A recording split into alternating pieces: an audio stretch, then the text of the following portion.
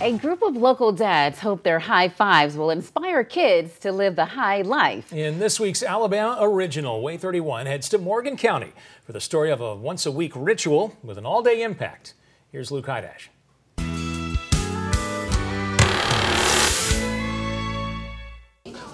It's the 79th day of school at Priceville Junior High. It's also Flannel Day, part of Spirit Week as kids wind down the semester and gear up for winter break. Merry Christmas, Happy Friday. It's also week two of a new tradition. Just a great time to put smiles on faces. Yeah. Look at our try to slide out over there. We want them to know how important they are for the Priceville area. High Five Friday.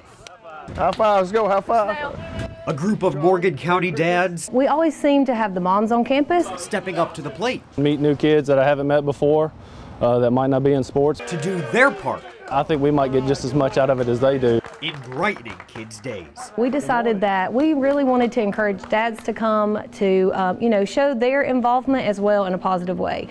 Merry Christmas.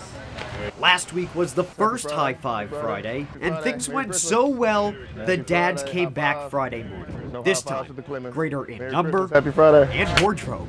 The men were like dressed up today, so that just made me laugh. McKaylee Draper is in eighth grade at Priceville Junior High. For her and lots of students, mornings can be a real drag, but the dads, well, they bring some swag. I'm not a morning person, so I walk in, it makes me smile, it makes me happy, and it just makes my day better. I mean, Fridays are sometimes hard to get up and get here, so just encouraging them that Friday's just as important as Monday. Um, come in, have a great day, you know, have a great attitude and work hard. 20 dads, hundreds of students, one goal. For the kids, you know, it's always great to have positive role models. There's so much negative in the world, in the news today. It's great to have a positive side of it, you know, it really is. Say a kid's having a really bad day, they need like spirit to boost them up so they can get through the day and they don't have to think about the bad times. They can think about the good things. Hey, y'all have a great day at school today. With an Alabama original in Priceville.